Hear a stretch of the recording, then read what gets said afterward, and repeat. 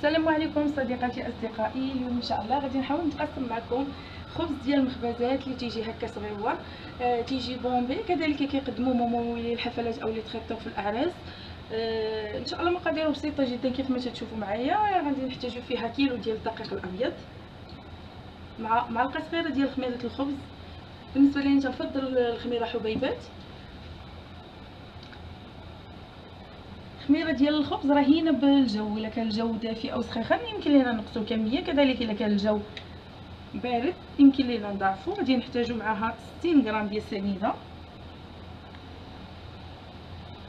مع 50 غرام ديال الحليب بودرة. يمكن هذه الكمية كتبان كبيرة على 50 غرام لأني اختاريت هاد النوعية ديال الحليب. متواجدة هنا في فرنسا كنظن السيدات اللي في المغرب يمكن لهم يعملوا هذاك آه، الحليب بودرة اللي تيتباع في علب لونها أصفر. بالنسبة ل 60 آه، بالنسبة ل 50 غرام تنظن غادي تجي أقل من هذه الكمية. جوج المعالق كبار ونص تقريبا. المهم 60 غرام حليب بودرة. عندنا 40 غرام ديال الزبدة. ورشيشة ديال الملحه غادي نعاود المقادير باش نضبطوهم أكثر. عندنا كيلو ديال الفورس معلقة صغيرة ديال خميرة الخبز 60 غرام ديال السنيده مع 50 أو 60 غرام ديال الحليب بودرة مع 40 غرام ديال الزبده رشيشة ديال الملحه وتقريبا نصف لتر ديال الماء الماء تا هو رهين بالدقيق إذا كان الدقيق من نوعية جيدة وما كتشربش الماء أو كان الدقيق تيتشرب كميه كثيرة ديال الماء وتبارك الله المغربيات الحادكات ما كاينش فيهم اللي ما تتعرفش la texture ديال العجينة ديال الخبز. نمروا للطريقه الآن. في العجانة الكهربائية أو يمكن غير في قصعة غادي نخلطوا المقادير كاملة اللي عندنا بها ديال ديال الخبيزات اللي غادي نعملو. sauf أن الزبدة والملح هما اللي ما غتستعملوهمش دونك en première donc أول حاجة غادي نبدأو بها. غادي نوضعو الكميه ديالنا ديال الدقيق اللي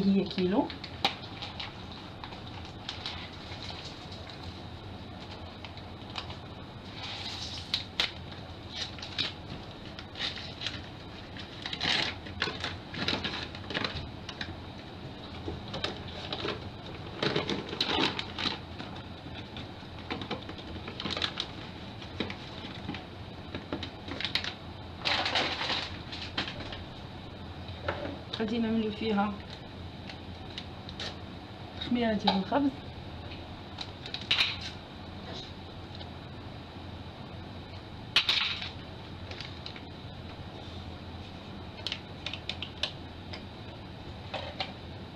نضيفو كمية ديال السكر. مع الكمية ديال الحليب بودرة. وغادي نجمعو بالماء. وغادي نحتفظوا بالملح وبالزبدة حتى المرحلة الثانية إن شاء الله.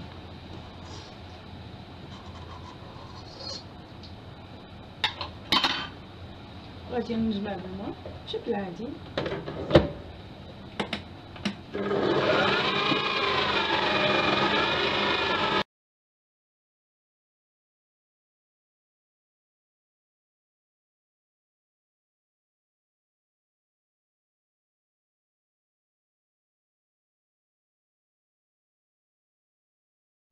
من بعد لا احتملت فينا العجينة الأولى بشكل جيد. غادي نخلطوا المليحة قياس ديال الملحة سيده على حساب الرغبة ديالها مع الزبده بوماد كنديروا القياس وهو اللي غادي ندلكو به هاد العجين اللي عندنا. غادي نخلطوهم حتى ينسجموا بشكل جيد. وهما اللي غادي نخلطوا ندلكو به العجينة ديالنا بشكل جيد. غادي نحاولوا ندخلوا الزبده في العجينة.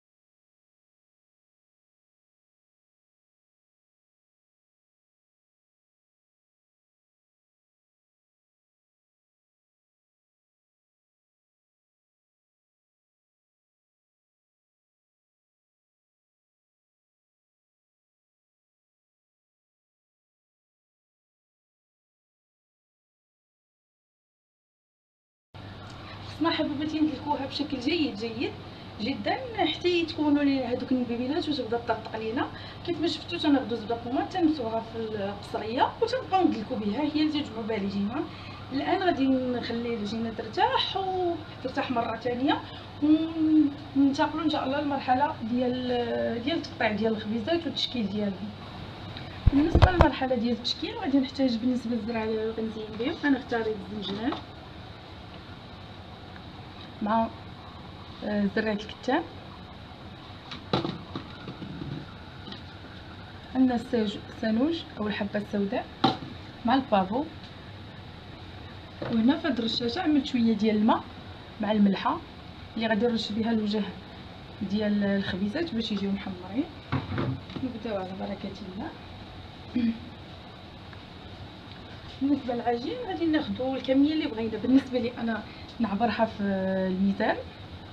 على حسب قياس الكويرات واش بغيتي سيداتي يكونوا متوسطين أو يكونوا أو يكونوا صغيورين ولا يكونوا كبيضين بحال ديال الخبز البرغر.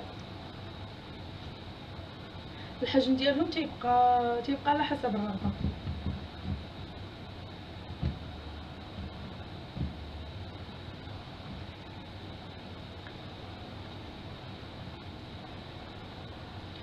غادي نفرمهم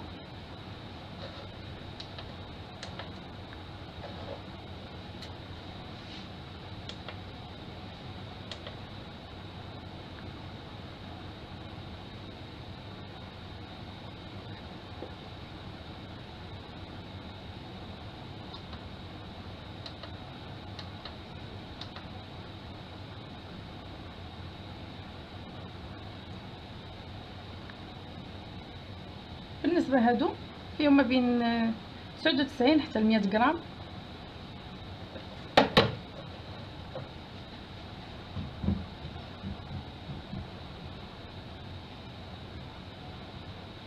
غادي نوضعهم في الطبق ديال اللي تيدخل الفرن.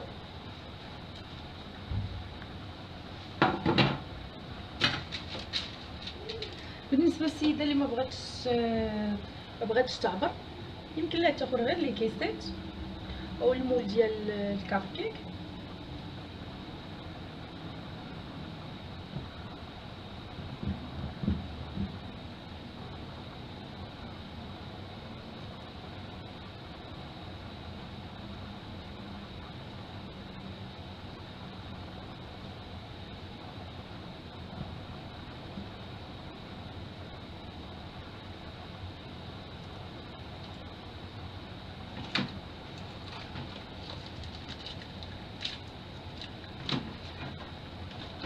وتوضع الخبيزة وسطو. هكا تيجيو بحجم متساوي والسيده ما تتعذبش راسها إنها تتبقى متى بالنسبة لهاد العجين غادي نرشها بالماء اللي فيه الملحة بهاد الطريقة. كتشوفوا معايا. وغادي نغطس لها وجهها سواء في البافو سواء كل سيدة على حسب الرغبة. أنا غادي نعمل في هذه شوية ديال البافو غادي نحاول نشكل ما بين ما بين كل الخبيزات وغادي نخليها ترتاح المره الثانية ونكملوا البقية ديال العجين.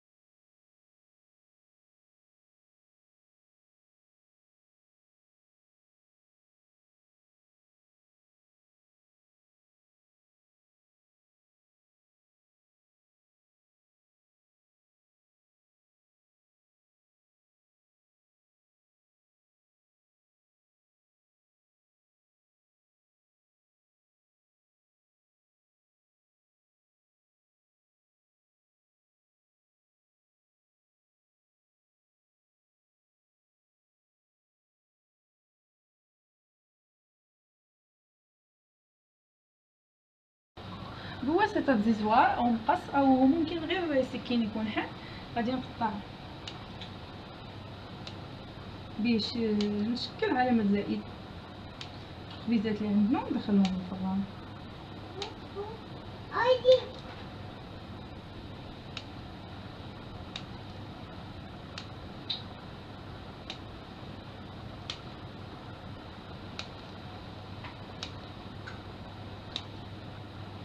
بالنسبة السيده اللي عندها la doire يكون نقي من الاحسن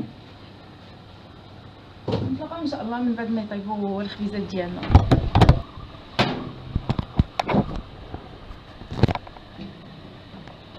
الخبيزات ديالنا من بعد ما خرجناهم من الفران تيجيو بحال القطن غزلان وبحال اللي تيحطوا les traiteurs في الأعراس.